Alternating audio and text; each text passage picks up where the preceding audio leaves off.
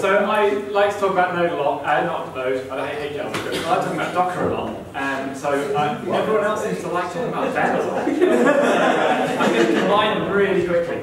So uh, I don't know. Oh no, forget about that. Uh, I don't know how many of you have seen this, but uh, someone said. now this is something that Marcus put together, uh, which is on the benadventure.club. Uh, so in fact, because probably loads of people this. Uh, yeah, exactly. Producing stuff. That's what I do. Changes.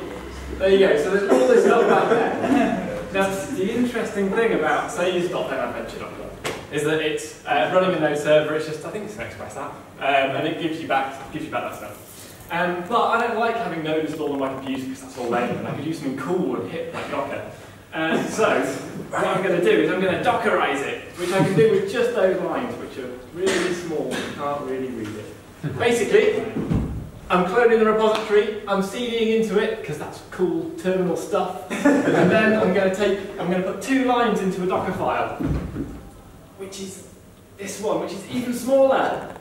Get bigger. There you go. That's my the longest Docker file you can possibly have. And that is all you need, because then I can run a build command, and I can run it, and it does stuff. Now, that's not that good. Oh yeah, handy command. If you use Docker, you can kill stuff. Brilliant. Um, but where it's quite handy is you can push the thing that you built up to the Docker hub, um, and then somewhere else you can download it and run it. So to prove that, this is me building it on my iMac. I realised after I took the picture that it kind of also looks like the side of my MacBook Pro. Um, but if I run that in this, this window here, which is,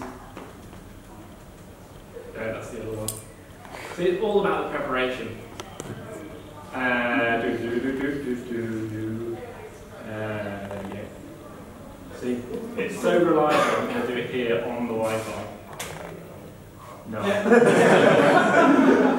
awesome! Uh, yeah, so anyway, that would have been awesome, but might actually be running if Docker hasn't crashed. Yeah, so it is actually running. Now, you can see, because it's really tiny text, uh, that it's running on localhost uh, 8001, but I don't have Node running on my machine, so uh, that's really good. Um, yeah, that would have been cooler if I could have actually shown you the command. But I'm demonstrating that show and tell don't But to make it even cooler and hipper, I'm actually running uh, Reveal inside Docker as well, because this is running on port 7000. But uh, when I switched over here, uh, you can see that I've done Docker run. Uh, minus minus R just means it's going to delete the container at the end. I map ports because that's cool, and then I put something from my Dropbox into this Docker container, and it just magically gives me uh, a Reveal server. So all of this thing has been Docker.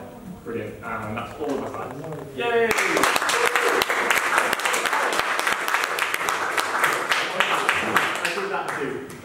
Ryan, Yeah. can I just point out the, the one that I've got deployed, it, it's in Docker. See, it's that's, that's how cool it is. But mine was easier than yours because I had something that does it automatically.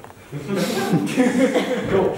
There you go. Continue. Uh, thanks, Ryan. Yeah, great one.